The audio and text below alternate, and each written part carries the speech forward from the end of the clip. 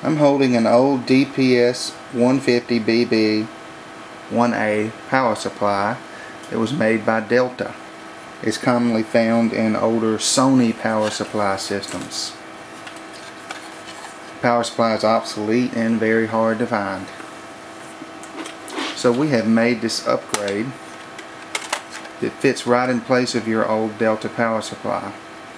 It is physically exact and it also matches your power supply electrically as well.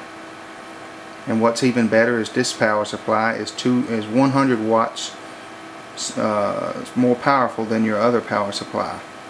This is 250 watts and your old power supply was 150. It's got the minus 5 volt circuit that you're going to need to keep your system running. And it's also got some of the things uh, that you'll find on today's power supply like a SATA connector. Maybe you weren't able to add SATA devices to your older system that used the Delta power supply, but now you can. So if you're looking to replace an older Sony power supply that uses the Delta DPS 150BB, then this is the power supply you need.